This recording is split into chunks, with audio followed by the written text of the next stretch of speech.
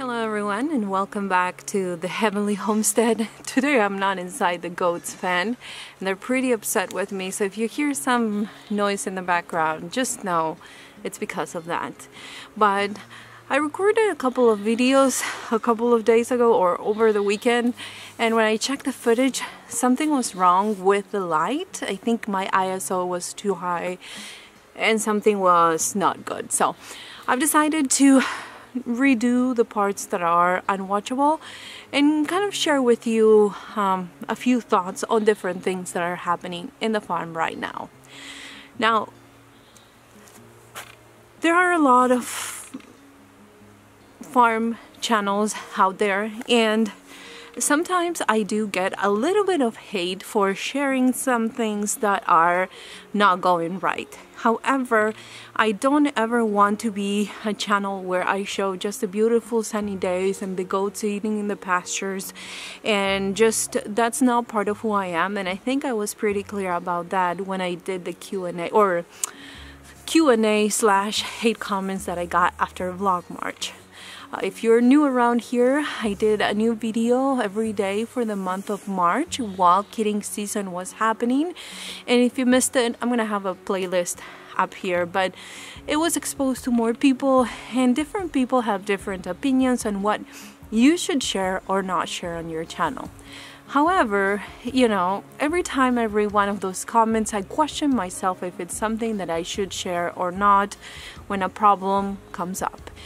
But in the end, I there's going to be people that are going to think that it's all drama for attention and there's going to be other people that are going to be like, oh, thank you for sharing this. This actually helped me.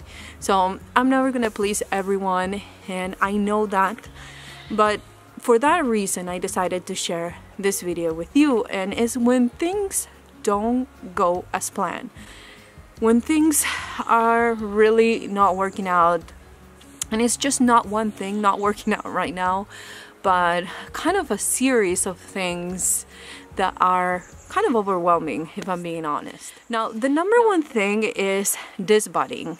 I was talking to Heather at Sage and Stone Homestead. I, I was gonna say I was talking to Sage and Stone Homestead. I was talking to Heather and we were talking about scurs and you know she was sharing um, her experience with her bugs that develop scurs and stuff like that. And you know I was telling her that is why I'm always kind of on top of things. So I disbud the boys I make sure it's done right. But then it happens. Sometimes they just grow scurs. So that's what happens with a few of the kids. Now, she was telling me that right now Titus is, um, maybe she doesn't want to share this, but I think it was in the comments, so I'm sure she'd be okay with it. But she was saying that the way that the scur is growing, there's no way that you can burn it. And that got me thinking in sharing this piece of information just in case you have a baby that will present these things, then you know what it means. And basically, when do you know if you have to re-disbud your baby goat? When do you know that you didn't do a good job or you know that it needed to go for a bit longer or maybe get a bigger area? When do you know? Well my number one tip is as soon as they lose the hard caps you're going to be able to see what's underneath. If what's underneath is round and kind of protruding it's like um little circle on top or it looks like a little mountain. It's not flat. That's what I mean. When it's not flat and when it's red, so needs to be kind of round, looking like it's growing from the inside and kind of with a round top and red. Usually, in my experience, it means that it's going to grow a scur. I don't know if you'll be able to see, but do you see how round the top of that horn looks like? The other one is still here, but I can feel that it's gonna be some roundness, some roundness underneath. He is going places.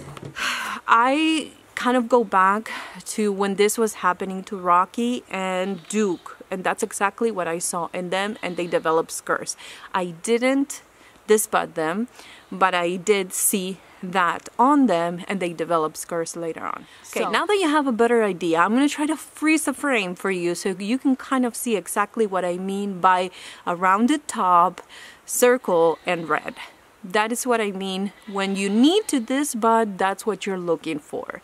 Or at least that's what I'm looking for. So right now, I'm going to have to disbud again at least three of my kids. The two that I just showed you, and I think there's a little girl that also needs to be touched up.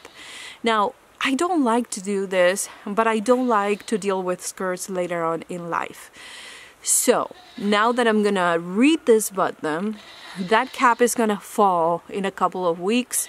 And if I see again that there is something growing underneath, it's round and trying to protrude, and and you'll see that it's growing. And then what I do is reburn. Now I've done this at least four times in um, I don't know. I want to say three three or four times last year with four boys that I had. And I was learning how to do it and I just had to do it. I know some people is gonna hate me for it but believe me it's going to help them a lot more in the long run to not have horns than just say okay they suffer enough one time they don't need to go through it again. So if you are at that stage where their caps are lifting and it's showing what's underneath if it's presenting any of those things I always re-disbud and that's why I'm doing it again. And that's something that I really wasn't planning on doing.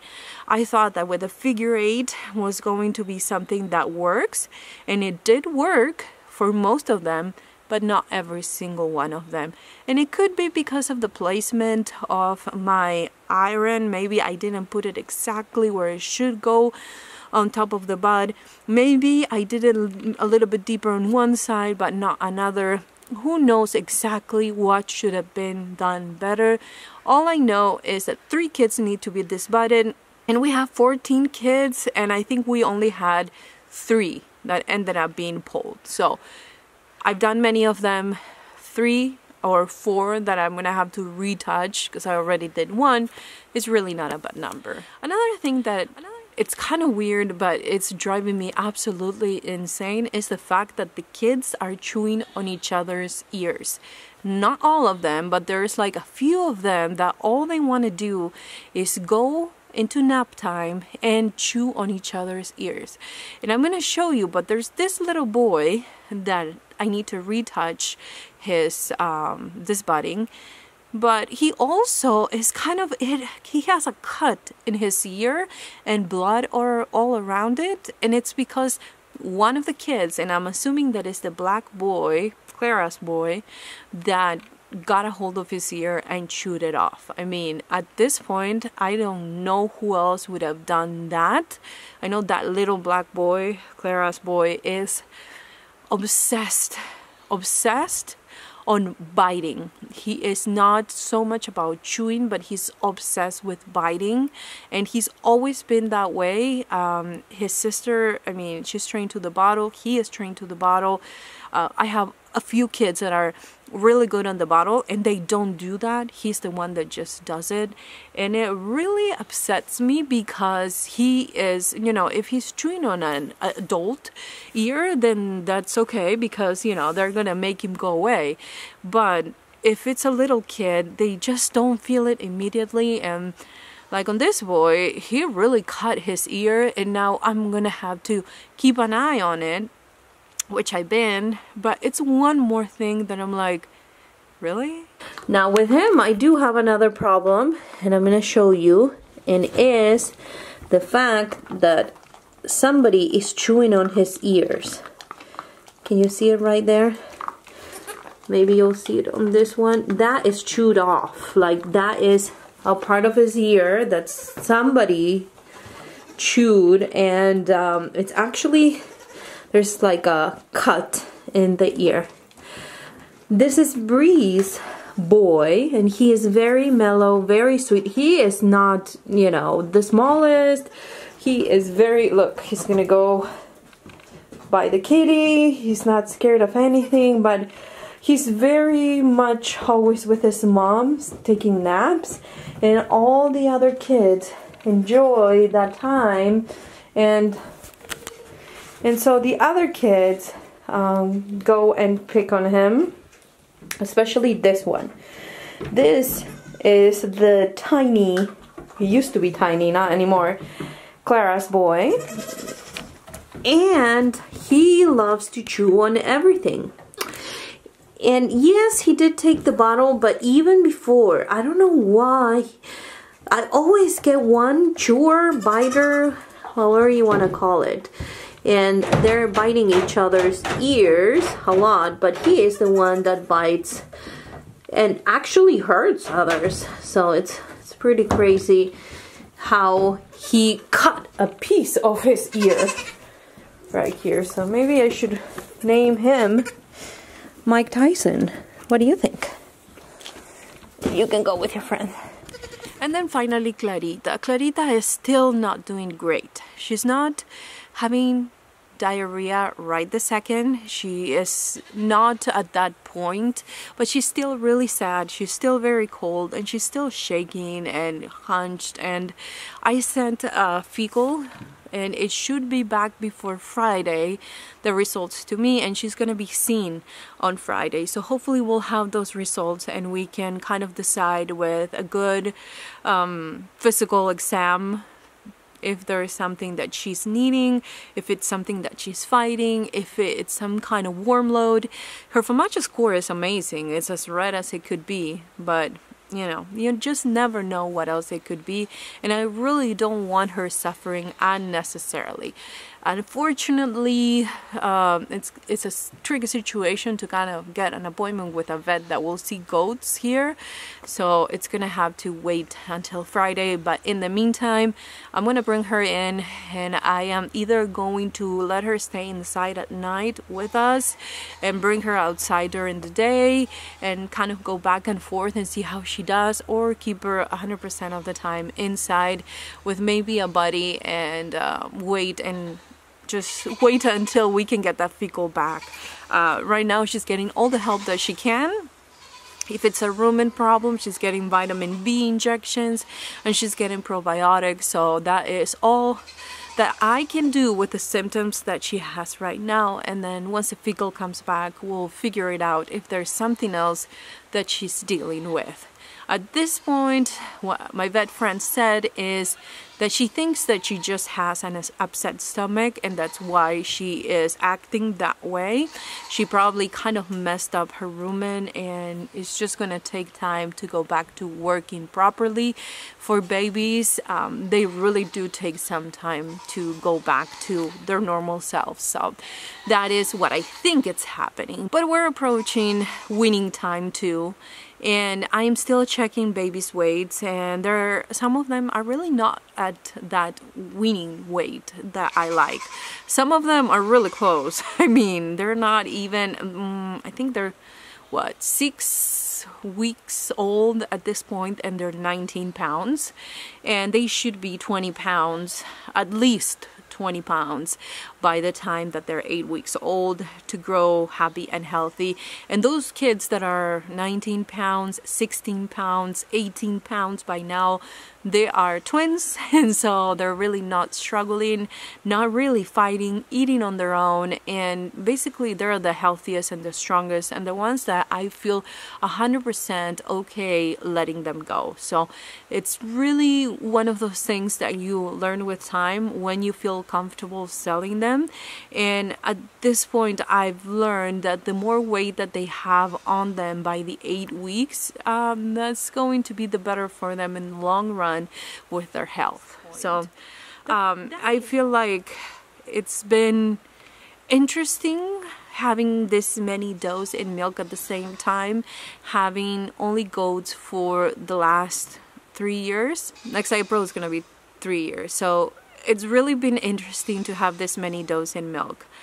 I promised myself I was gonna do hand milking for the first couple of months to make sure that I didn't struggle with any mastitis or any udder retention or any problems with their udders because I feel like at the beginning it's very easy for them to maybe you know have an uneven side or something that I can spot by hand milking and just seeing it itself.